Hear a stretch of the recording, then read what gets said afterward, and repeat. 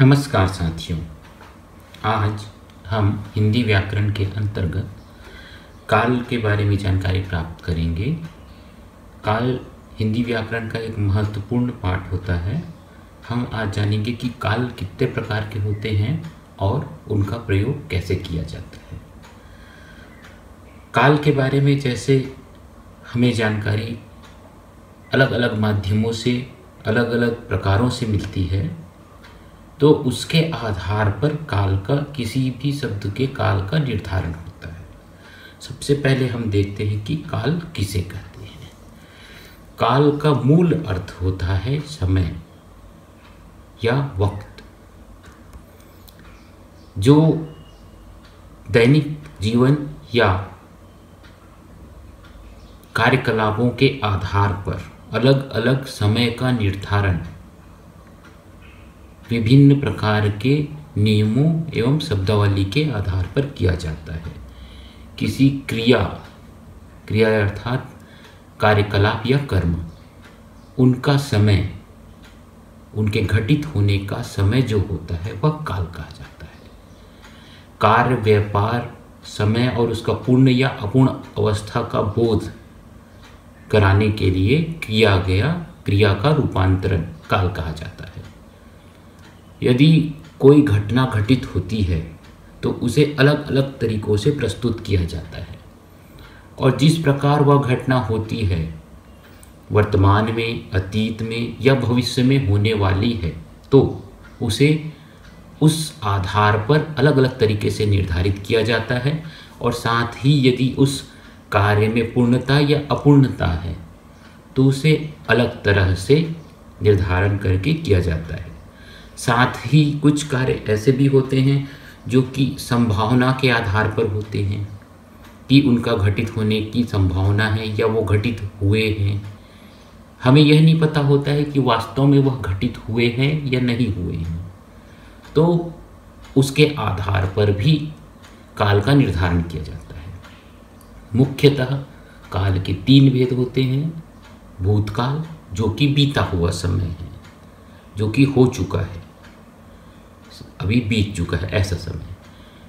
वर्तमान काल दूसरा काल होता है, जो कि वर्तमान में जो चल रहा है, जो हमें सामने में प्रत्यक्ष दृश्य हो रहा है, उसे हम वर्तमान काल कहेंगे। और तीसरा काल होता है भविष्य काल, जो आने वाले समय में घटित होगा और जिसकी संभावना ही हम कर सकते हैं, पूर्णतः हम उसे नहीं बता सकते कि वह होगा या नहीं होगा। उसे कहते हैं भविष्य काल। साथ ही काल का जब निर्धारण व्याकरण में किया जाएगा तो क्रिया का व्यापार कब हुआ, हो रहा है या होगा, इसका बोध भी हमें काल के माध्यम से कराना पड़ता है। जो एक विशेष शब्दावली के साथ काल का परिभाषा कहा जा सकता है, वह है, काल क्रिया के उस रूपांतरण को कहते हैं जिससे क्रिया के व्यापार और उसकी पूर्ण या अपूर्ण अवस्था का बोध होता है। सबसे पहले हम देखेंगे भूतकाल। भूतकाल बीते हुए समय को निर्धारित करने के लिए प्रयोग किया जाता है। जो समय बीत गया जैसे मान लीजिए आज जो साल चल रहा है मान लीजिए सन 1980, 1970, सन 1200 इस प्रकार जो पुराने समय हैं उनका निर्धारण किया जाएगा। भूतकाल, यूँ तो भूतकाल बीते हुए समय की बात होती है, लेकिन इसमें भी अलग अलग भेद होते हैं। जैसे सामान्य भूतकाल, दूसरा है आसन्न भूतकाल, तीसरा अपूर्ण भूतकाल, चौथा है पूर्ण भूतकाल। पांचवा संदिग्ध भूतकाल और छठवा है हेतु हेतु मध भूतकाल। अब हम विस्तार से इन सभी के बारे में जानकारी प्राप्त करेंगे कि इनका अर्थ क्या होता है। भूतकाल को हमने छह हिस्सों में बांटा है, घटनाओं के आधार पर। सबसे पहले देखेंगे सामान्य भूतकाल। इसमें क्रिया के जिस रूप में या, ये ये, चुका, चुकी, चुके इत्यादि दृश्य होते हैं। यदि कोई शब्द है जिसमें ये शब्द आखिर में आते हैं तो इनसे पता चलता है कि यह सामान्य भूतकाल है।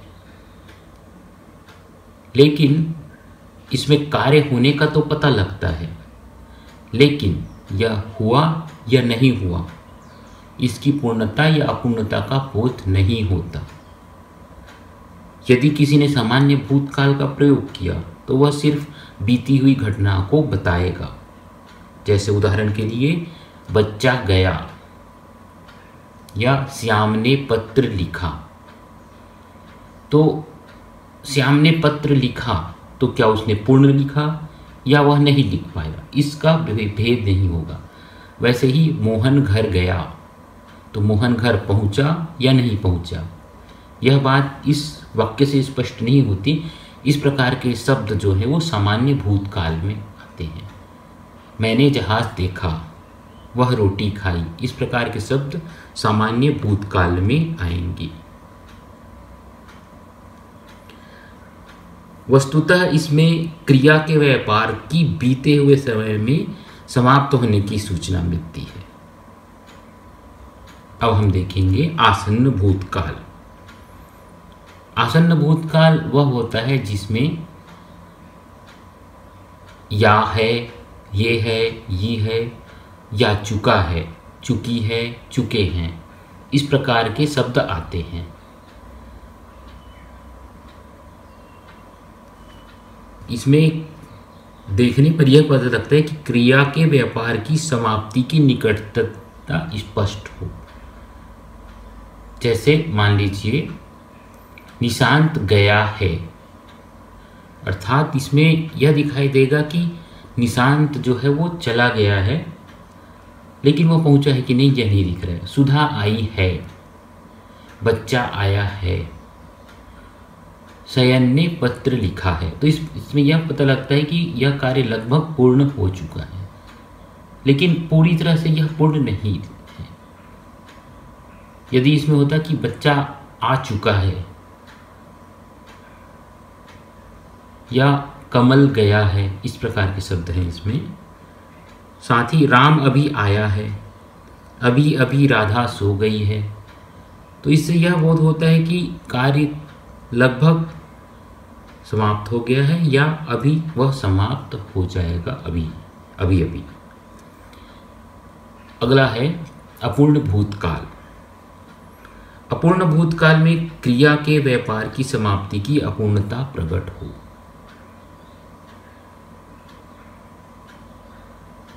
इसमें रहा था, रही थी, रहे थे इत्यादि शब्द आते हैं। इस रूप में काम का होना पूर्ण हो गया है या कार्य बीत चुका है, यह प्रकट होता है। परंतु पूरा होना प्रकट होगा इसमें। साथ ही यह इस शब्द में जो मूल शब्दावली या उसकी भावना होगी, वह यह दिखाई देगा कि कार्य पूर्ण हो चुका था। जैसे उदाहरण देंगे, रामू आ रहा था, बच्चा आ रहा था, श्याम खेल रहा था, श्याम पत्र लिख रहा था, कमल जा रहा था, मोहन मैदान में घूम रहा था। मैं साल में एक बार घर जाता था। वह हॉकी खेल रहा था। इस प्रकार के शब्द इसमें था, रहा था, रही थी, रहे थे, इस प्रकार आ रहा है और इसे यह दिखाई दे रहा है कि वह कार्य पूर्ण हो चुका है। जैसे हमने देखा, रामू आ रहा था। में यह है कि रामू आ रहा था। वह पूर्ण था कि वह आ रहा था। इस प्रकार के शब्द अपूर्ण भूतकाल में आएँगे। अब हम देखेंगे पूर्ण भूतकाल पहले हमने देखा अपूर्ण भूतकाल तो अपूर्ण भूतकाल में हमें यह दिखाई देता है कि वह कार्य हो तो रहा था, लेकिन वह पूर्ण हुआ नहीं था। वह कार्य चल रहा था। अब हम देखेंगे पूर्ण भूतकाल जिसमें कार्य पूर्ण हो चुका है, कार्य समाप्त हो चुका है। अर्थात यह एक ऐतिहासिक सत्य होगा कि जो भी कार्य था, वह पूर्ण होने का प्रमाण है। जैसे इसमें जो आने वाले शब्द हैं, वह आया था, आई थी, आए थे, चुका था, चुकी थी, इत्यादि आएँगे। साथ ही इस प्रकार के भूतकाल में, जो कि पूर्ण भूतकाल कहा जाता है, इसमें कार्य समाप्त हो चुका है और उसमें समय बीत चुका है। अर्थात कार्य पूरी तरह से पूर्ण हो चुका है। जैसे बच्चा आया था, श्याम ने पत्र लिखा था, कमल गया था, पद्मा ने नृत्य किया था, उसने पढ़ा था, वह मेरे यहाँ आया था, मैंने सिनेमा देखा था, वह दिल्ली गए थे। इस प्रकार के शब्द आएँगे जिसमें पूर्णता है शब्द में। तो इसे पूर्ण भूतकाल कहा जाएगा। अब हम देखते हैं संदिग्ध भूतकाल, जिसमें भूतकाल का तो बोध होता है, लेकिन कार्य के होने में संदेह होता है। या कहें कि कार्य की समाप्ति में संदेह उत्पन्न होता है। इसमें होगा, होगी इत्यादि शब्द आते हैं, जैसे श्याम ने पत्र लिखा होगा। अर्थात यह दिख तो रहा है कि भूतकाल का है, लेकिन यह पूर्ण नहीं है कि हमें पता लग जाए कि वास्तव में ने श्याम पत्र लिख लिया होगा या नहीं लिखा होगा। यह पूर्ण भी हो सकता है, अपूर्ण भी हो सकता है। तो यह संदेह के आधार पर इसे संदिग्ध भूतकाल कहा जाएगा। इसी प्रकार बच्चा आया होगा श्याम ने पत्र लिखा था, कमल को जाना होगा शायद तुमने देखा होगा, आपने कहा होगा। इस प्रकार के शब्द आएँगे तो संदिग्ध भूतकाल इसमें आएगा। और आखिरी है, हेतु हेतु मत भूतकाल। क्रिया के जिस रूप में कार्य होने पर एक क्रिया से दूसरी क्रिया का होना आश्रित है। इसे हेतु हेतु मत कहा जाता है। यदि एक कार्य होगा तो ही दूसरा कार्य का निर्धारण होगा। यदि पहला कार्य असफल होता है तो दूसरा कार्य भी असफल भूतकाल में हुआ होगा। अर्थात आश्रित पर आधारित भूतकाल को हेतु हेतुमत भूतकाल कहा जाता है। जैसे वह पढ़ता तो उत्तीर्ण हो जाता। यदि भूतकाल में उसने पढ़ाई किया होगा तो वह उत्तीर्ण हो जाता। यदि वह जाता तो मैं भी जाता। उसी प्रकार यदि वर्षा होती तो फ़सल अच्छा होता। एक और उदाहरण है, यदि सुधा ने कहा होता तो मैं अवश्य जाता। अर्थात दो क्रियाएँ आपस में संबंधित है और एक दूसरे पर आश्रित हैं। यदि एक क्रिया सफल हुई होगी तो दूसरी क्रिया भी सफल हुई होगी। हेतु हेतु मत का मूल अर्थ है कार्य और कारण का संबंध। हेतु हेतु भूत में भी दो बातें होती है। जो कार्य कारक को सूचित करती है, कारक पर ही कार्य निर्भर है। हेतु हेतु मत भूतकाल में दो बातों का होना कहा जाता है। अर्थात एक पहली बात स्वतंत्र और दूसरी बात जो आश्रित है। अर्थात यदि कारण नहीं है तो कार्य का नहीं होना होगा। अर्थात यदि मान लीजिए एक उदाहरण जो हमने देखा था, वह पढ़ता तो उत्तीर्ण हो जाता। मान लीजिए उसने पढ़ाई नहीं की तो वह उत्तीर्ण नहीं होगा। और मान लीजिए उसने पढ़ाई की तो उत्तीर्ण हो जाएगा। तो पढ़ना भी संदेह में है और उत्तीर्ण होना भी संदेह में है। और आपस में एक दूसरे के आश्रित है। यदि उत्तीर्ण होना है तो पढ़ना तो पड़ेगा ही। इसलिए इस प्रकार के शब्दों को हेतु हेतुमत भूतकाल में गिना जाता है। हम देखते हैं अब अगला काल, वर्तमान काल। वर्तमान काल अर्थात जो समय अभी चल रहा है या जो घटना अभी घटित हो रही है। तो इसमें जो घटनाएँ होती हैं वर्तमान में, वह चलती तो रहती है लेकिन समाप्त नहीं हुए रहती। वह लगातार हमारे साथ चलती रहती है।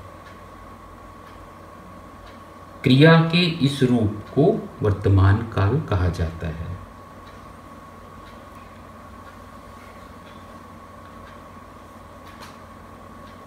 इस क्रिया में, वर्तमान समय में संपन्न होने का बोध होता है। जैसे, मैं बाज़ार जाता हूँ, तुम बाज़ार जाते हो, इस प्रकार के शब्द वर्तमान काल में आते हैं। वर्तमान काल को हम पाँच प्रकार से बांट सकते हैं। सामान्य वर्तमान काल, अपूर्ण वर्तमान काल या तात्कालिक वर्तमान काल, पूर्ण वर्तमान काल, संदिग्ध वर्तमान काल और संभाव्य वर्तमान काल। ये जो मूल भावनाएँ होती हैं शब्दों की, उसके आधार पर बांटा गया है। अब हम देखते हैं सामान्य वर्तमान काल। क्रिया के जिस रूप में पूर्णता या पूर्णता का ज्ञान नहीं हो, उसे सामान्य वर्तमान काल कहा जाता है।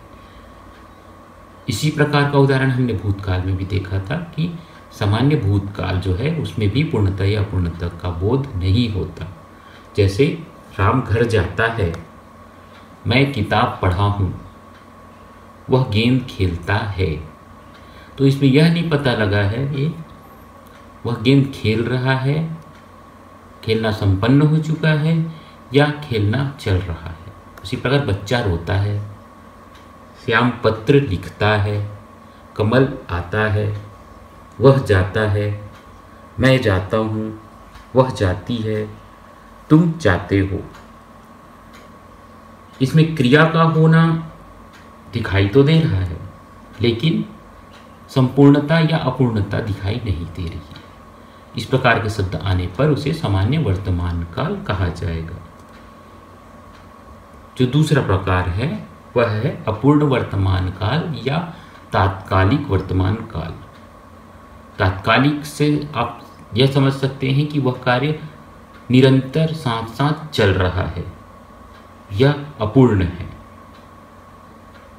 इसमें जो शब्द है, वह रहा है, रही हूँ इत्यादि आते हैं।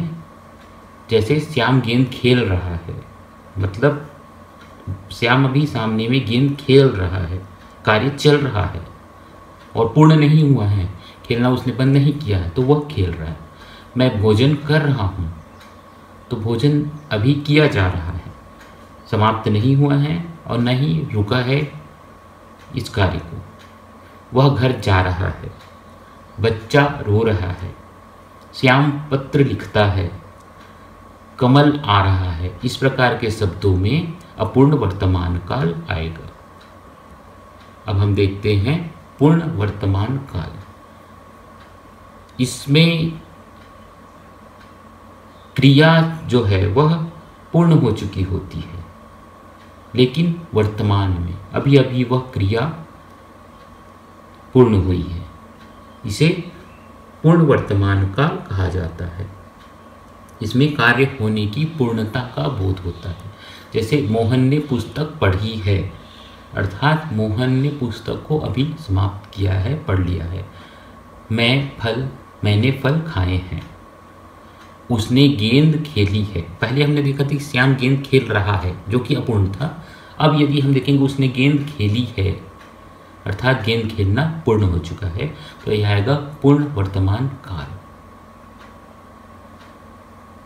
इसमें हम भूतकाल और वर्तमान काल जो पूर्ण होता है, उसमें भेद कर सकते हैं कि यदि उसने गेंद अभी अभी खेली है तो वह पूर्ण वर्तमान काल में आएगा। लेकिन यदि यह रहता कि उसने गेंद खेला खेला था था आता तो वह भूतकाल बन जाता। लेकिन इसमें है का प्रयोग हुआ है, इसलिए यह वर्तमान काल में आएगा। अब हम देखते हैं संदिग्ध वर्तमान काल। क्रिया के जिस रूप में वर्तमान कार्य के होने में संदेह का बोध हो, वहाँ संदिग्ध वर्तमान काल होता है। जैसे रमेश जिस समय खाना खाता होगा। अर्थात वह कहीं और बैठा है और यह अनुमान लगाया जा रहा है कि वह जब कहीं पर है तो वहाँ पर खाना खा रहा होगा। अब बच्चा रोता होगा। श्याम इस समय पत्र लिखता होगा। अर्थात कहीं और है और वह हो सकता है कि वह पत्र लिख रहा होगा।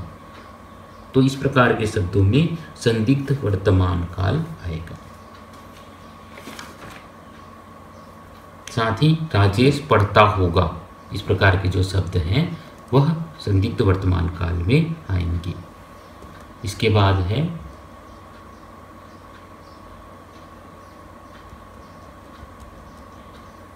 संभाव्य वर्तमान काल। इस प्रकार के काल में कार्य के होने की संभावना होती है। या यह बोध होता है कि यह कार्य हो रहा होगा। संभावना है इस बात की। जैसे देखो, घर पर वह आया है। हो सकता है रमा बाज़ार गई हो। इसमें पूर्णतः संभावना है। वास्तविकता इसमें दिखाई नहीं दे रही है कि यह कार्य हो रहा होगा। बस एक संभावना है कि यह कार्य हो रहा होगा। अब हम देखेंगे भविष्य काल भविष्य काल वस्तुतः ऐसे प्रकार के कार्यों को कहा जाता है जो कि भविष्य में घटना घटित होगी।